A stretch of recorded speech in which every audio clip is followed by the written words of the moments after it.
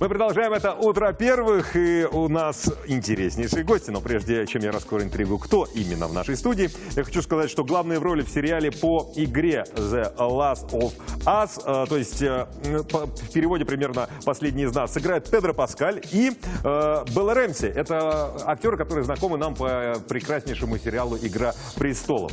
Чего нам ждать от нового кино и как часто становятся успешными экранизации видеоигр? Спросим у нашего дружественного видеоблогера Илья Маклауд в нашей студии. Илья, доброе утро. Доброе. Пожалуйста, что ждем от прекрасной премьеры, которая запланирована или уже состоялась? Нет, еще в процессе. Это, во-первых, это сериал будет. э, Во-вторых, э, там несколько эпизодов. И Кантемир Балагов, кстати, наш соотечественник, э, м, опять же, вот номинант, насколько я помню, участвовал вот э, в позапрошлогоднем Каннском кинофестивале. А, Вот он как бы первые несколько эпизодов он, собственно, режиссирует. А, Чего ждать? Значит, э, The Last of Us, или как ее перевели в русском варианте «Одни из нас», э, это игра про постапокалипсис, то есть про мир после, грубо говоря, конца света. В последнее время она считается про- просто шедевром видеоигр. Да, да. При том, что она вышла доста- ну, на ограниченном количестве игровых платформ, то есть вот на народной э, платформе компьютер ПК, и она не выходила, она на консолях выходила, и то только на компании Sony. Вот. а, При этом, на самом-то деле, э, игра достаточно, ну, сюжетной точки зрения, естественно, нас интересует, потому что как бы геймплей мы не передадим через фильм или через сериал. Вот, э, ну, это драма на самом деле. То есть это драма, это достаточно такое сложное произведение, как раз рассказывает о том, как вот люди э, тоже их вот такие события, как, э, ну, грубо говоря, конец света, их тоже сильно меняет. То есть, несмотря на то, что там вокруг достаточно жуткие вещи творятся, люди сами по себе меняются. Вот. Э, Сложно сказать, что в итоге получится, потому что э, экранизация видеоигр – это всегда эксперимент. То есть у нас пока вот как с кинокомиксами не получается, что как бы, ну, практически всегда все будет хорошо, да, то есть у нас очень мало сейчас примеров каких-то неудачных кинокомиксов за последнее время, в основном все как бы более-менее хорошо. Фильмов по видеоиграм, о которых мы сегодня будем говорить, их много, но Да. неудачных примеров еще больше, мне Да, кажется. да. Э, э, Вот я просто хотел бы непосредственно вот про этот сериал. Э, Как вы сказали, э, Кантемир Балагов, это молодой режиссер, как Да. правильно сказали, соотечественник, и он же будет одним из создателей сериала. Да, он режиссирует первые несколько эпизодов.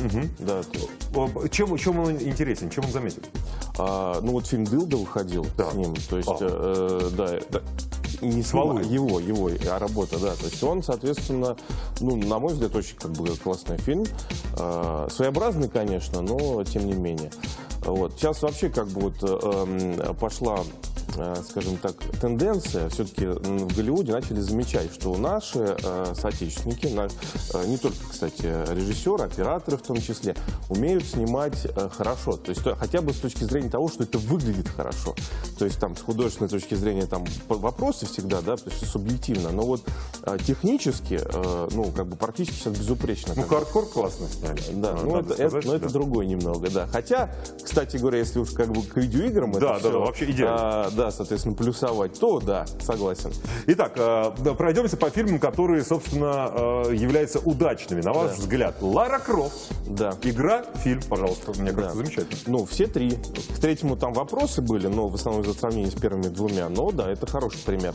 Но тут, опять же, э, надо сказать, что э, Лара Крофт э, в оригинале, собственно, «Расхитительная гробница», это назывался э, и видео- серия видеоигр, она сама по себе являлась м, своего рода игровой адаптацией, э, точнее, попыткой перенести вот Индиана Джонса в мир видеоигр, а потом получилось наоборот. Вот. Ну и, кстати, Индиана Джонс это тоже экранизация. Нет, Индиана Джонс это оригинал. Оригинал, то есть фильм, а потом уже Да, по- пошла да, игра. да, как раз, да, да, да. пошел оборот. Э, К моему сожалению, я сейчас понял, что пандемия мне так закрутила голову, что я пропустил экранизацию Half-Life. Ты смотрел это? А, Экранизация Half-Life. а, ну, тут, э, опять же, это любительское кино. Так. Кстати, снимали ребята из Калуги. Ну, то есть арт-кино. Да, но оно, тем не менее, а, ну, скажем так, это не неофициальная, то есть ребята сами там собрались, решили. До...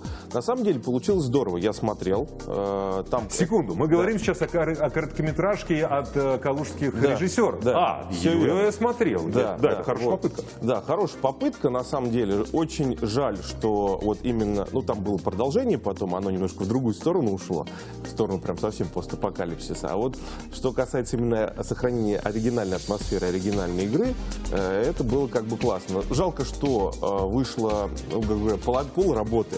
То есть ребята там решили разделить э, вот этот Freeman's Days, разделили на одну, на две части, одну сняли, а вторую, ну, видимо, я не знаю, решили пойти по пути э, создателей самой игры, и третью часть, как создатели зажали и куда-то, мы все ждем много лет, так и ребята вторую, ну, не смогли сделать. Слушай, ну я точно знаю, что я знаю этих ребят, которые они снимали, по крайней мере, тоже ча- знаком. часть команды, и ну тут, конечно, все упирается в бюджет. И при тех ограниченных возможностях э, они сделали просто прекрасный. э, Не, это очень хорошо. Я тоже считаю, что в- вот как раз в этом-то и раскрываются, что как бы а, не всегда э, деньги решают. То есть очень часто решают, э, ну, грубо говоря, сценарий, ну, смекалка какая-то. Но да. это же и такая режиссерская хитрость, э, режи- э, авторская хитрость в том, чтобы снять часть ролика для того, чтобы потом найти инвесторов. Согласен. И вот они неудачно попали вот в этот вот 2020 в пандемии. Может быть, и заметили бы, может быть, и... Ну, они пораньше снимали, да, но потом это как бы еще все усугубилось, да, Да. ожидания, да.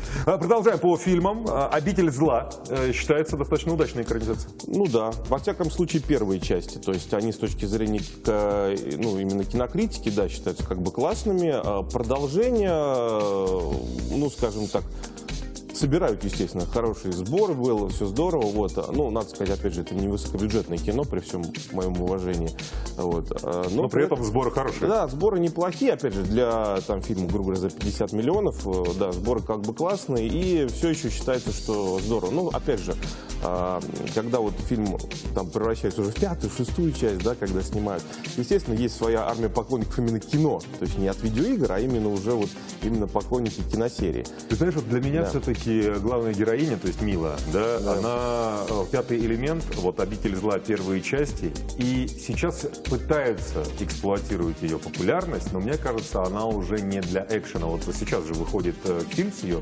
участием в, что-то борьба э, про- против Охотник- монстров. «Охотник на монстров». А, Тоже, «Охотник кстати, на монстров». тоже, кстати, экранизация. Экранизация. Да. А, как ты считаешь, будет удачно, нет?